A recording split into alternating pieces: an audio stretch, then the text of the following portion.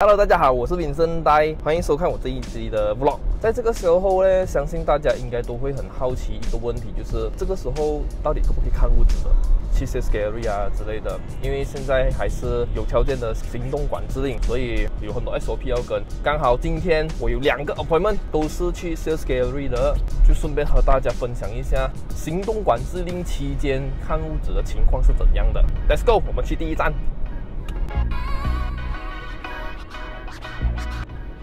OK，现在我们就到了这个第一站，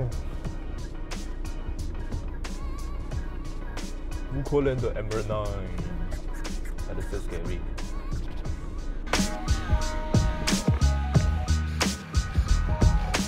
来到这边看到的东西就是一样的 SOP，第一个步骤一定要先量体温、填名字、填 IC、填电话号码，注册完了才能够进来。最近到来。人也不多啦，所以我们能够很容易的保持社交距离。然后很明显的在那个座位上是，那椅子上是贴了一些几个是不能够坐太多人的。然后这个那个 show unit 吃饭单位呢是不能够太多人进去，同一个时间只有一个 group 的 buyer 跟 agent 进去不了。接下来就是等客人来了。A few moments later，我又回来车上了了。刚才在 e m e r a l d 的那个 appointment 就做不成，然后我要在拍这一段影片的时候，我又收到一通电话，那就是第二个的 appointment 也不成功了，因为的客人有些事情要做，所以今天只能够 给给大家看到一点点的，在这个 e m e r a l d Nice Gallery 里面的这个 SOP 罢了。这样刚好今天。我又出道来了啦，然后还有时间，又这样刚好，我又想要去买一点东西。在还没有结束这支影片之前，给大家看看现在的 shopping mall 里面的 SOP 是怎样。可能很多人都已经是出门了，然后也去过 shopping mall，也去过一些公共场所。所以，如果是那些还没有出门过的朋友呢，呃，就可以看看这一支影片，就了解一下现在外面是所谓的新常态是怎么样的一回事。所以现在我是 on the way 去这这个。呃，Eco Terrace，OK，So let's go。我到了这个 Eco Terrace 的 car park，是很满的，很满的。没想到这个时候 car park 还是那么的满。我还是特地上到来楼上，因为楼下的 basement 的 car park 已经是满完了。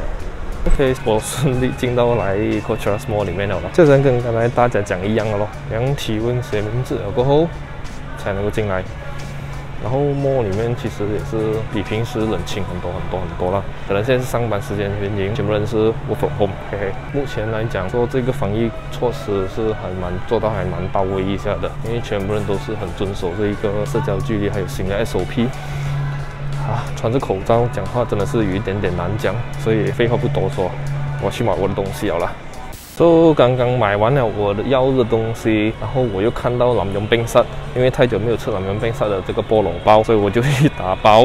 这边除了进到摸的时候需要量体温、消毒、写名字才能进到这个摸，每一间 retail 都是一样的 SOP，也是一样量体温、洗手。然后写名字，然后才能够进去。然后刚才我是在啊原冰在里面打包吗？也是一样，即使是打包也是一样，因为你要在里面付钱啊。哇，讲真的，戴着口罩讲话不简单，没有气啊。所以我也不要讲多了，很喘，真的很喘。所以我就继续等我的包。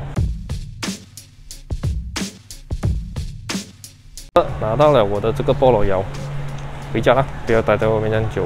有什么事情就不要待在外面。一天就这样子过完了了。其实我们 A 卷的工作讲简单也不简单的，尤其是在这期间哦，就是就要准备更加多的东西。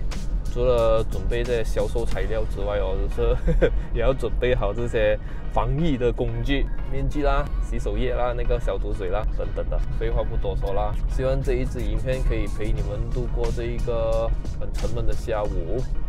啊，所以在这期间哦，就是要出来 appointment，我们还是很乐意、很乐意、很乐意出来 appointment。毕竟这个是我们的工作嘛，帮你们找到你们心爱的家，也是我们最大的成就。如果喜欢追踪我的生活，记得 subscribe 我的 YouTube channel，还有 like 我的 Facebook page。我除了会不停的分享房地产相关的知识之外，我有时候也是好像是这样子，以 vlog 的方式来呈现给大家我们这个地产经济。的热场，所以我们就在下一集的影片见啦，拜拜。